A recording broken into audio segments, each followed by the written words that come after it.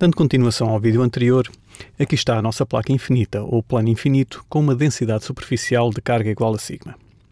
O que fizemos foi marcar aqui um ponto, a uma altura h unidades acima da placa, e calculamos o campo elétrico neste ponto, gerado por um anel de raio R, cujo centro é a projeção ortogonal do ponto na placa.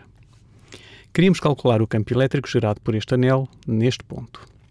Vimos que o campo elétrico é igual a isto e que, como as componentes horizontais do campo elétrico se anulam, só nos interessava calcular a componente vertical do campo elétrico.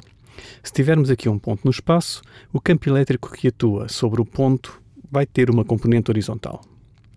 Essa componente horizontal poderá ter este sentido para a direita, mas vai haver outro ponto na placa que gera um campo elétrico com uma componente horizontal no sentido contrário, o que anula a componente horizontal do primeiro ponto. Por isso, só nos interessa a componente vertical do campo elétrico.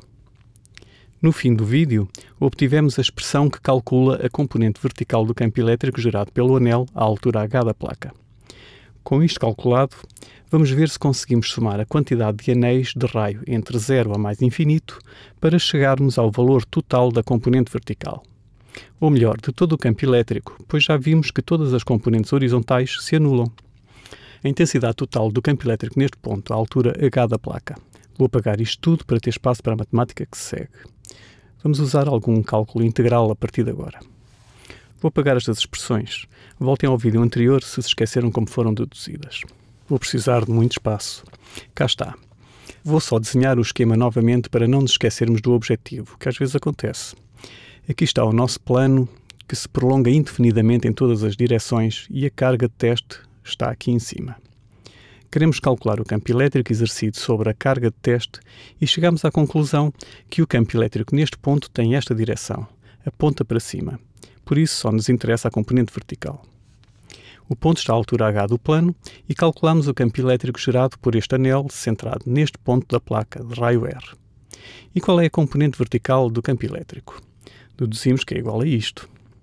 Vamos agora fazer uma integração. Campo elétrico total gerado pela placa vai ser igual ao integral. Que integral tão feio que eu desenhei? Ao integral de um raio igual a zero a um raio de mais infinito.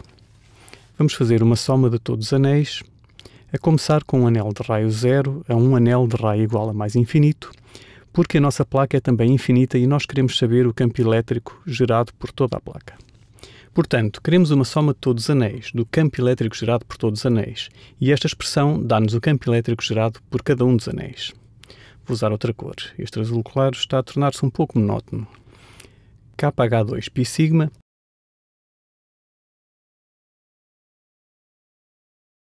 sobre h ao quadrado mais r ao quadrado elevado a 3 meios. Vamos simplificar isto um bocadinho. Vamos tirar algumas constantes para fora do integral para que a equação fique mais simples. Isto é igual ao integral de 0 a... Ups, não era isto que eu queria fazer. Vou tirar o k, mas vou deixar o 2, já vão ver porquê. E vou tirar o resto das constantes que não estamos a integrar. Portanto, fica igual a kh π sigma vezes o integral de 0 a mais infinito de de quê? O que é que eu deixei ficar? Deixei um 2r. Estou a ficar sem espaço. 2r dr sobre h ao quadrado mais r ao quadrado elevado a 3 meios. Então, qual é a primitiva desta expressão? Vamos fazer uma primitivação por substituição. Se calhar já conseguem fazê-la de uma vez, mas eu vou escrever aqui os passos. Podemos fazer a substituição onde u é igual a, se queremos calcular a primitiva disto, u é igual a h ao quadrado mais r ao quadrado. Este h é uma constante, certo? Então, du vai ser igual a, quer dizer, du dr vai ser igual a, isto é uma constante, por isso a derivada é 2r. Logo, du vai ser igual a 2r dr. Portanto, a primitiva de 2r dr sobre h ao quadrado mais r ao quadrado elevado a 3 meios é igual à primitiva com esta substituição. Mostramos que 2r dr é igual a du, certo? a expressão fica igual a du sobre isto é igual a u. h ao quadrado mais r ao quadrado é igual a u, como estabelecemos aqui. Por isso ficamos com u elevado a 3 meios, que é igual à primitiva de... Podemos escrever a expressão como u elevado a menos 3 meios du. E agora é fácil fazermos a primitiva. Vamos aplicar a regra da derivada da potência ao contrário. A primitiva é igual a menos 2u elevado a menos 1 meio. Podemos confirmar se está correta. A derivada disto de menos 2u elevado a menos o meio, menos o meio vezes 2 é igual a 1. Se subtrairmos 1 a isto, vai dar menos 3 meios. Podemos acrescentar aqui mais uma constante qualquer, c, mas como vamos fazer um integral definido, vão anular-se todos os c's. Ou também podemos dizer que isto é igual a, como fizemos aquela substituição, isto é igual a menos 2 sobre ter elevado a menos o meio é o mesmo que ter 1 sobre a raiz quadrada de h ao quadrado mais r ao quadrado, certo? Tudo isto que fiz a magenta foi apenas para calcular a primitiva disto, que mostramos ser igual a isto. Menos 2 sobre raiz quadrada de h ao quadrado mais r ao quadrado. Com isto feito, vamos continuar a nossa integração. Portanto, esta expressão fica simplificada para... Isto é uma maratona de problema, mas que me dá muita satisfação. kh pi sigma e até podemos tirar este menos 2 cá para fora, vezes menos 2. Isto tudo vezes, estamos a calcular o integral definido entre estas duas fronteiras, 1 sobre a raiz quadrada de h ao quadrado mais r ao quadrado, entre zero a mais infinito, certo? Bom, esta expressão vai ser igual aqui, quanto é 1 sobre a raiz quadrada de h ao quadrado mais mais infinito. O que acontece quando calculamos o campo elétrico para um raio de mais infinito? Ora, a raiz quadrada de mais infinito é mais infinito e 1 sobre mais infinito é igual a zero. Por isso esta expressão é igual a zero. Quando calculamos o integral para mais infinito, isto vale zero. Menos, e o que acontece quando r é igual a zero?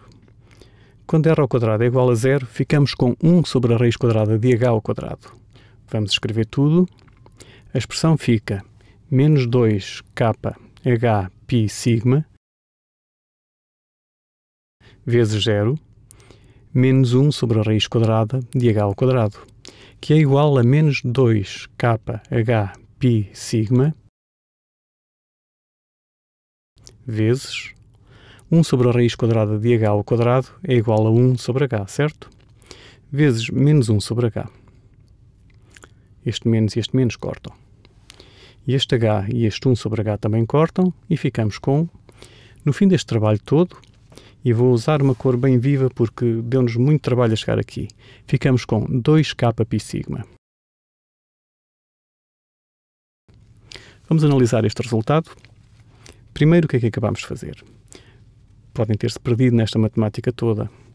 Isto é a intensidade do campo elétrico a altura h desta placa infinita que tem uma carga uniforme com uma densidade superficial de carga igual a sigma.